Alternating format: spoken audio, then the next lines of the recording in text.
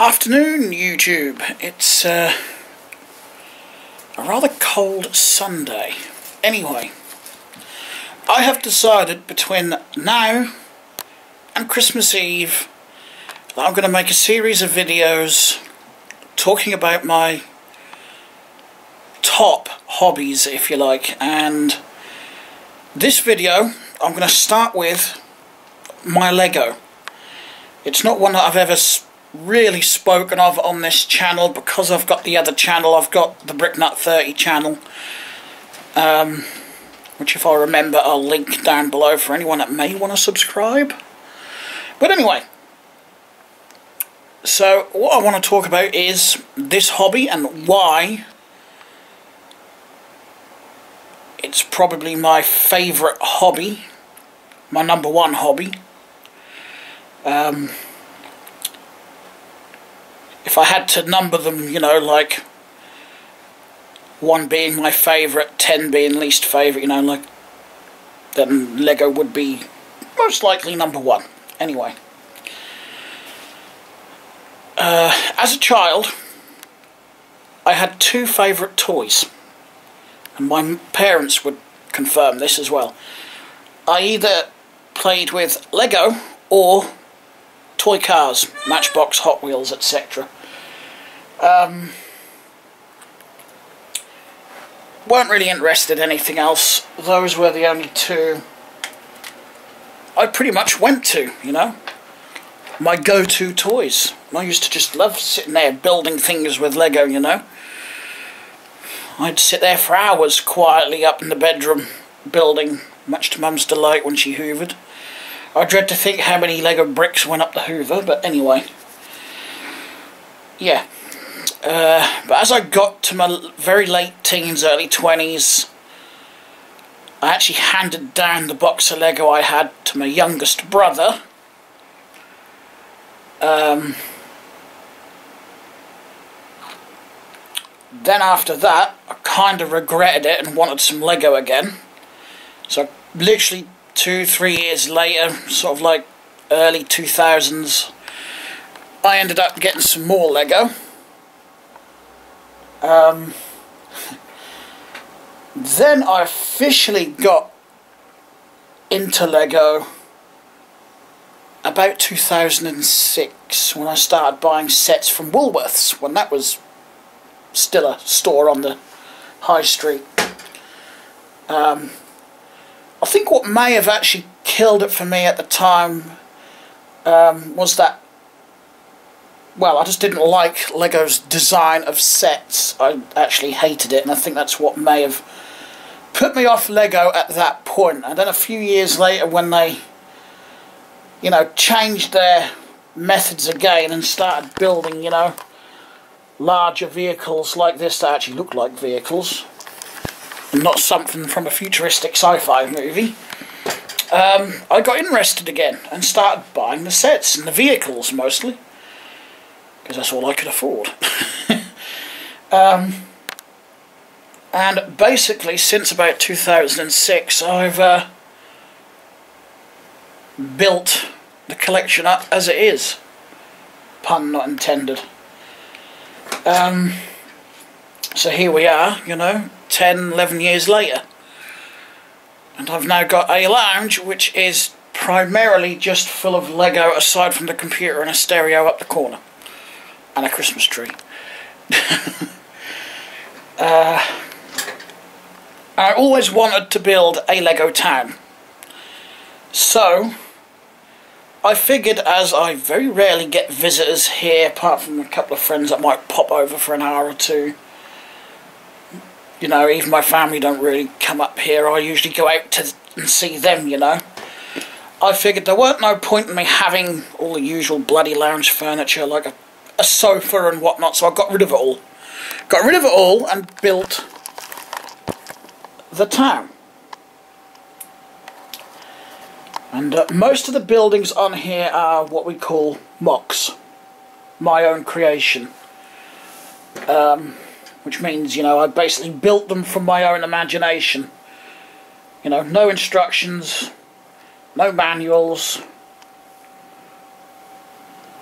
Um, there's a couple sets on here. The train station is a set. I actually just made some modifications there to customise it really and make it fit into the town because Lego with their sets they always leave the backs open so kids can you know get figures in there and actually play with them. It makes the set more playable. So I sealed off the back to make it look a bit more like a building a real building and uh, added the extra window here. This whole bit is an extra bit. It was only this big. Well I thought that looked a bit odd so I added the extra bit on top. And added some extra lighting and whatnot and uh, yeah I like it. It uh, it's getting there. It's a slow build mostly because of the budget. My budget's not a big budget unfortunately.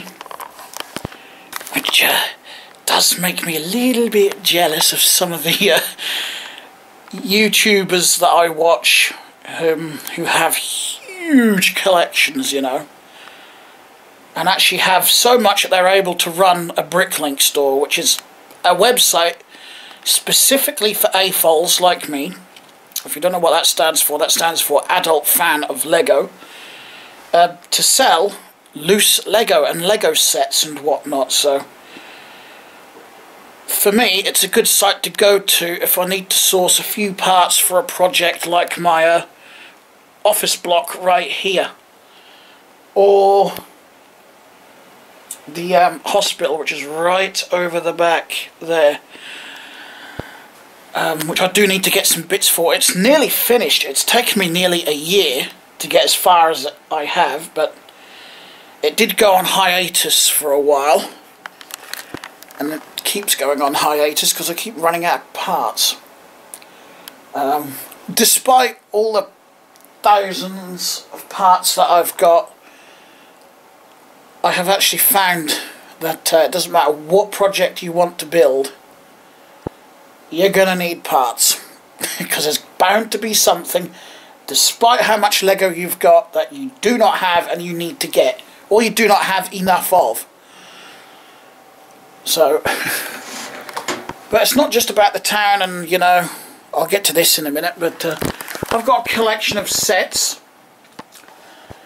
Um, these are not all the sets I own. I do have a bunch of sets that are not assembled.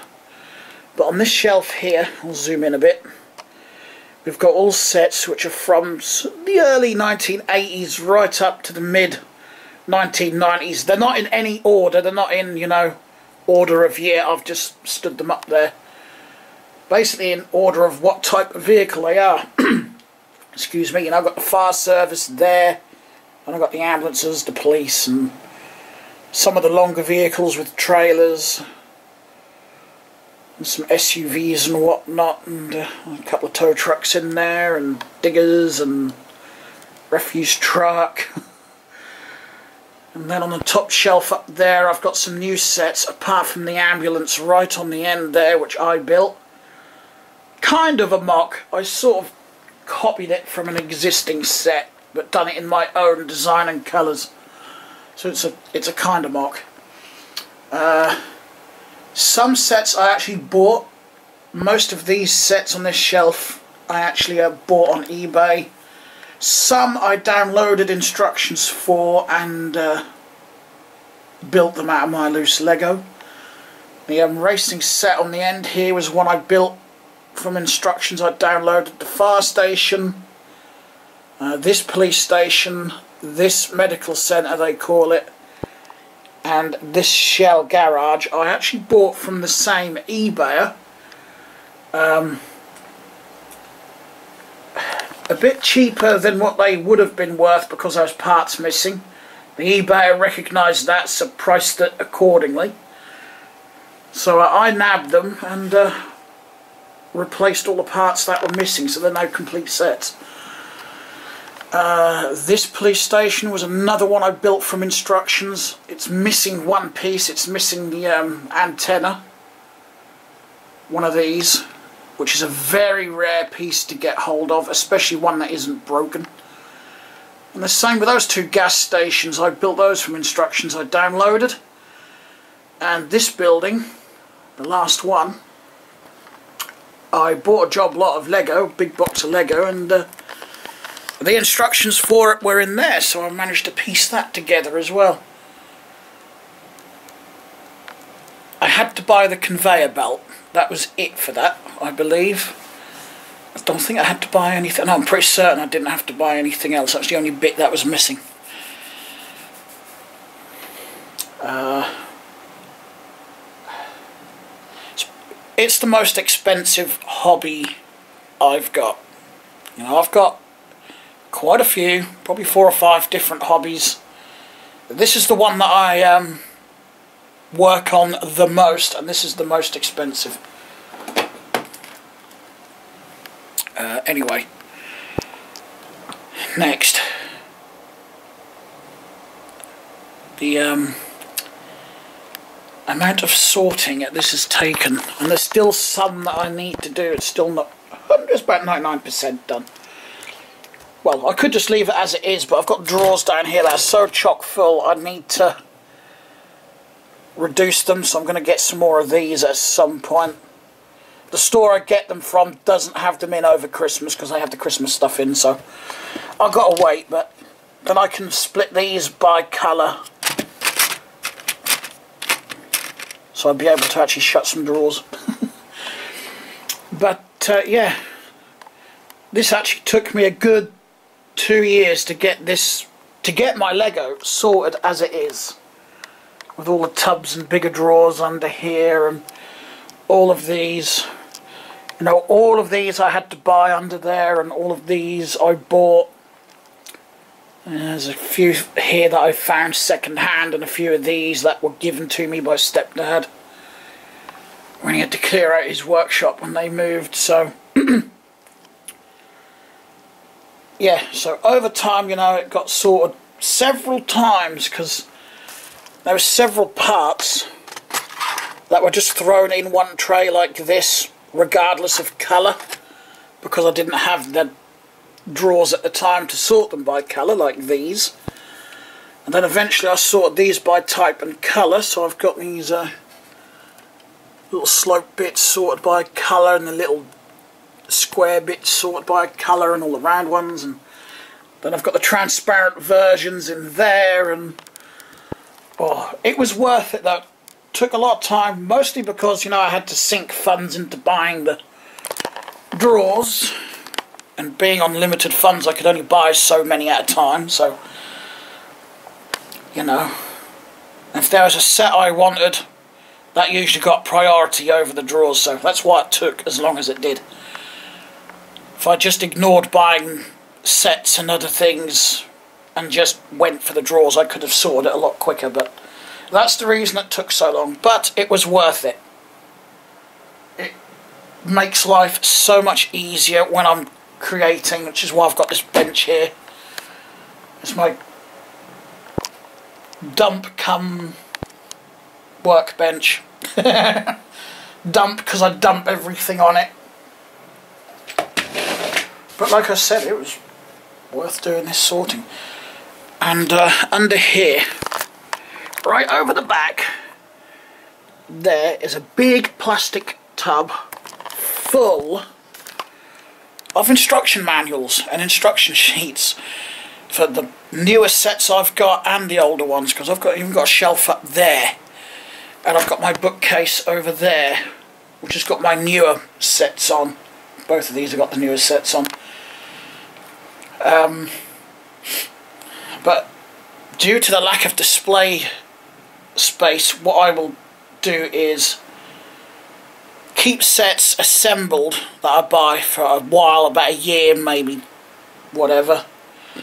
And then dismantle them, sort them out and put the instructions in there. So I've actually got a ton of sets not made up. Probably at least a hundred sets if I were to guess. Um, one day I will actually go through that box and actually find out one, how many sets I actually have that have official instructions anyway because like I said I downloaded it for some of these um, and how many I've actually got made up. Or not made up, I should say. But that's going to take some time to sort that because there's a lot. There is a lot in there. You know, I've got to be motivated to do it, but uh, I've got all sorts. I've even got under here, actually, another box there, full of um, models that I can't put on display. And under there, there's some boxes for Lego sets. I've got some vintage ones under there. I've actually got a complete, two complete vintage Lego Technic sets under there that I uh, picked up so, uh, value of this, I don't like to think about it. I'm not one that likes to brag, I'm not one that likes to boast, so if someone asked, I would give them my estimate, but if it's not asked, then I don't give it, because like I said, I'm not the boastful type.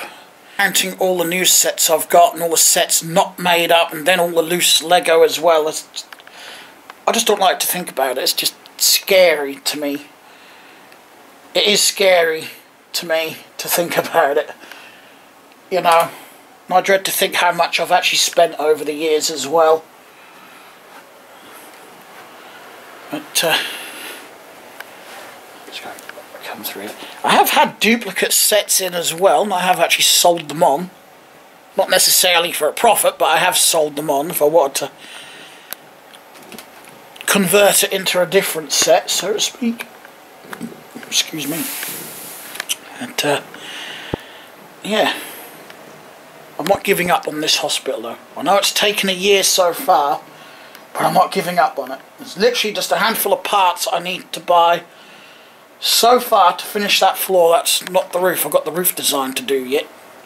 Haven't even thought about that yet. But I do need to buy several bits to finish this off blue tiles being one of them. Anyway, any questions, feel free to put them down in the comments and I'll answer them. And uh, as always, thanks a lot for watching. If you liked the video, give me a like. If you didn't, give me a dislike and I will talk to you again very soon. Bye.